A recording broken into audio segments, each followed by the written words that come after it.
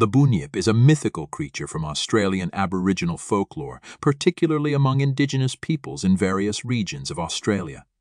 The term bunyip is believed to have its origins in the language of the Wemba Wemba or Wergaia people in Victoria. The bunyip is often described as a mysterious and monstrous creature associated with waterways, swamps, and billabongs, stagnant ponds, or lakes.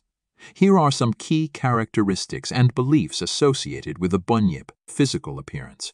The physical appearance of the bunyip varies in different Aboriginal traditions and accounts. It is often described as a large, amphibious creature resembling a combination of different animals. Commonly mentioned features include a dog-like face, dark fur or feathers, flippers or webbed feet, tusks, and a long neck, habitat.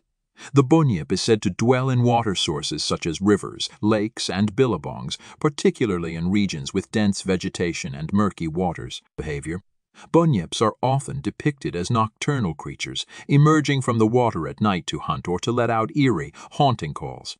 In some traditions, they are considered solitary and elusive beings, folklore and stories.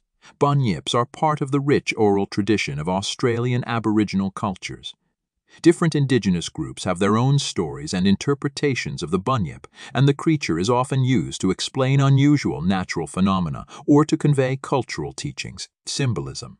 The bunyip serves various symbolic purposes in indigenous folklore. It can represent the unknown, the mysterious, and the dangers of the natural world. In some cases, it is used to convey lessons about respecting and living in harmony with the land and water. It's important to note that the bunyip is primarily a creature of indigenous Australian folklore, and its significance and characteristics may vary among different Aboriginal communities. While the bunyip is not considered a real animal by modern scientific standards, it remains a culturally significant and intriguing part of Australia's storytelling traditions.